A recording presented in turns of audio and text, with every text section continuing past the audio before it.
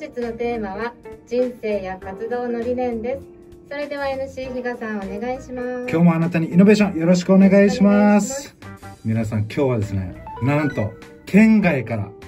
えー、ゲストの方お越しいただいています、えー、岡山県現在在住でですね、えー、アプリ制作運営管理編集サポート SEO 分析などをですね、えー、中心に行っている株式会社シットルで代表取締役をされています大木和正さんにお越しいただいてます。よろしくお願いします、はい、よろしくお願いします。いやあのこういはい、はい、なんかこういった番組とかってなんかよく出られたりするんですか、はい、いや正直よくは出ないですね。あの学生時代にやっぱりそのちょっと空手道してたんで、はい、その時のテレビとかラジオとか、はい、そっちはあるんですけど、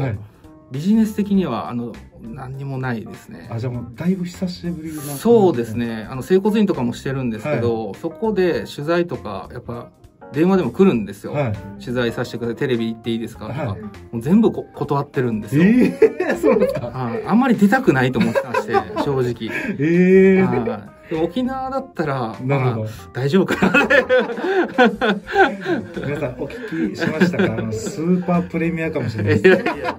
まあ、いろいろ4日間、あのー、はい、まあ、いろいろですね、大きさね、掘り葉掘り、はい、お話を伺えればなと思いますので、よろしくお願いします。ぜひ楽しみたいと思います。よろしくお願いします。はい。はい、というところでですね、はい、いつものように、えー、3つのポイントを私の方で付けさせていただきました。まず1つ目、人とのつながり。2つ目に経営。3つ目に集客。この3つがポイントかなというふうに感じました。それを合わせたラベリングとしては、人を愛し、人に寄り添い、人を助ける、三方よし経営者、まあ、そういったものかなというふうに、えー、感じました。その理由としてはですね、大木さんは学生の頃から多くの方と出会い、学び、まあ、空手では日本を制し、現在では複数の授業を行う経営者でもあります。その大木さんは現在、たくさんの人と関わりつながり皆様の集客に関する悩みの手助けをしたい、まあ、そういった思いで精力的に授業を展開されていてその根底には他事業者お客様など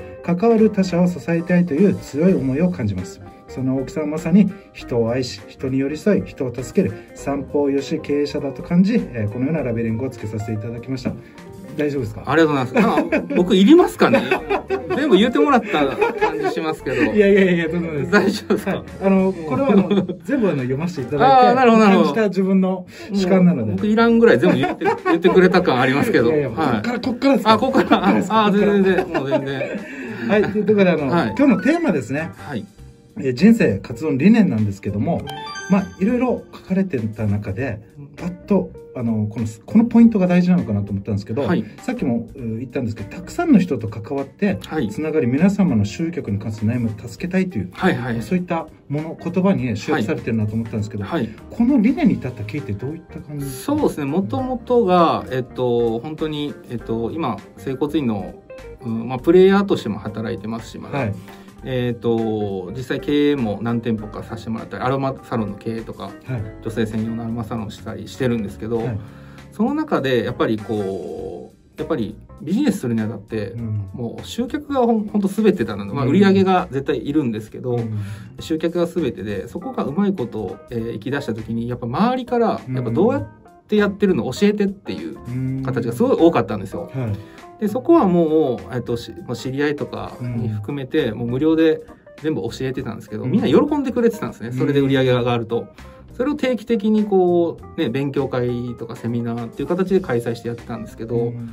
それを今回ビジネスという形にしたっていうことが経緯ですね最初は。あじゃあもともとビジネスっていうのは自分の範疇だけでそうです範疇だけでみんなに教えて、まあ、喜んでもらってたんで、はい、えー、そこをちょっと広くしてるっていう感じでもう本当に地元の周りだけで知ってるメンバーに教えてるっていう感じだったんですけど、はい、これあれなんですか？そのノウハウっていうのは、あの、うん、えー、っと整骨院というか、そうですね。その前に不動産、はい。あそうですね、の方に携わってたところの、まあ、ノウハウとかもちょっとそうですね結局あの大学卒業して整骨院もそもそもやりたかったんですけど、はい、いきなり整骨院の先生になってもやっぱ普通の先生になっちゃうんで、うん、やっぱあの営業のノウハウをちょっとし、やっぱ学びたいなと思って、営業のノウハウを学ぶためには、やっぱり一番高いものを売りたいと。その営業なんかしたことなかったんで、大学生だったんで。でそれが、えっと、就職活動した時に一番高い商品っていうのが不動産だったんですよ。アパートとかマンションを建てませんかみたいな、そこの営業だったんですけど、その営業を、えー、経て整骨院になった時に、結構整骨院先生ってもうあの待ってるだけの人が多いんですよ。まあ、お客さん患者さん患者さんが来てくれるんで、アロマサロンとかもお客さんがもう来てくれるので、待ってるだけで攻める営業みたいなのあんまなかったんですよね。それをやってるとやっぱ自分の、えーと、整骨院とかアロマサロンにはある程度やっぱ集客力がついてきて、はい、周りあんましないので。はい。じゃ周りからしたらなんであそこだけ例えば今回のコロナ禍でも、うん、なんであそこだけいっぱい人がいるのとか、うん、まあ、った売り上げがなんであそこだけ上がってるのって声が、うん、まあ噂が広まって勉強しに来てみたいなことも多かったので、まあ、そこからですね最初は。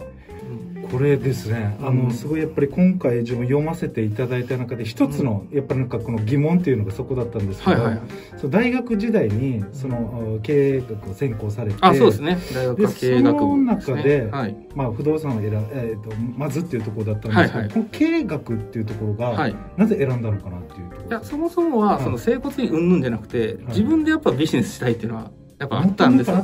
もともとあったんですけど、はい、えっと、何をしたらいいかっていう部分がやっぱ大学生の頃はもうすごい悩んでまして。自分が何し何者なのかとか何をしたいのかやっぱ自分でしたいけど何をしたらいいのかっていうの全く分からなかったんですね。で大学2年生ぐらいの時に最初えっ、とその少子化になるけど結局2人えー、親お父さんお母さんが働きに出るから、子供が預かるとこがないとか保育園が足りないとか、はい、幼稚園足りないっていうのを、はい、えー、当時20年ぐらい前ですかね、うん、に話になってまして最初はその幼稚園とか保育園を経営するのどうだろうって思ってたんですよ。もう足りない部分をそもそもやったらいいんじゃないかっていう。はいはいはい。そこでちょっと知り合いつながりでちょっと聞いたんですけどやっぱ地域のことだったりちょっと難しい部分があったんですね。ちょっとこれは無理だなと思って、その時にまたえー、僕はずっと空手してたので、はい、怪我した時にお世話になってる先生とか、はい、えー、整骨院の先生とかに、やっぱ相談する機会が多かったので、はい、そこでやっぱ自分が通ってきた道でもあるんで、はい、そこで整骨院っていうのはちょっと合致したっていう。今まで通ってきた道とお世話になってる部分と、自分が経営したいっていう部分と、そこをずっと見てきてるので選手と、選手の時にですね、そこが、ま、あの合致して、あこれやっていうのがこう大学2年生の時ですね。大学2年生の時に、はい、そういった流れっていうそうです。流れを一回全部組みましたね。何年後に何したいみたいな感じなのは一回組んでって感じですね、はい、これあの空手ですごいこの、うん、成績を残してた時っていうのは、はい、大学とか高校とかその辺なんですか？そうですね。えっと、もう中学2年ぐらいまでは本当に県でも1回戦負けぐらいの、めちゃくちゃ弱かったんですよ、はいはい、でまあ本当ずっと努力してたら、はい本当報われるってよく言うんですけど、はい、本当にずっと小2ぐらいからずっとやってまして、はい、で中2の時に、えっと、初めて県大会優勝したんですよ。はい、で今度全国大会なんですね。で全国大会行ったら全国で2位になったんですよ。2位までは今度世界大会行くんですよ、日本代表で。で今度すぐ日本代表になってね、世界大会行って、はい、で5位になって、はい、なんか中2の時にいきなりゾーンって1回1回戦でずっとそう1回戦でずっと負けてたやつが、はい、急に日本代表になったんですよね。そこぐらいからですね。あじゃあもうその早い段階で、い、ろんなその多くの経験ししてたっていう多分あるのかなと思ってななのでこの大学の時に、うん。あのその次のなんか、うん、人生のライフステージじゃないですけど、はいはい、なんかみなんかだからその多分えー、これだけ、えー、今空手でも普通だったらなんか指導者とかもあるじゃないですか、あはいはいはいはい、だからそこがすごいちょっと引っかかってた部分があって、でね、でも今の話聞いてると、はい、学生のだいぶ早い段階で、はい、いろんなその好成績残していく中で、はい。えー、そういうところに行ったんだっていうところでそうですね。あとはその大学、まあ、高校の時にそのその全国大会で個人で優勝させてもらって、はい、その後に大学に沖国、うん、沖縄国際大学に僕拾ってもらってるんですけど、はい、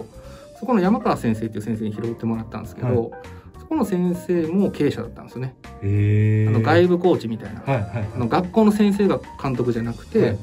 えーと、経営者の外で経営してる方が外部監督だったんですよ。そこの影響もかなり受けてるんじゃないかなって自分では思ってますね。まあ、後々考えてみると。そうですね。だから先輩方はやっぱり警察官になったりとかやっぱ消防に入ったりとかやっぱそっち系が多いんですよ。王道ですよね。王道で多いんですけどそこの道はまた考えたことがなかったですね。でもそういうあのお世話になった先生の影響っていうのも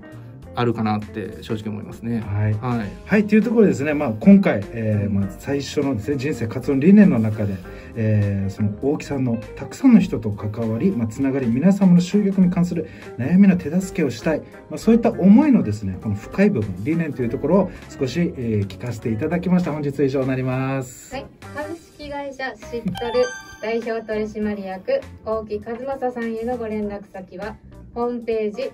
shitto-seo-app.com シットル -seo-app.com で検索お願いします。本日は以上になります。See you!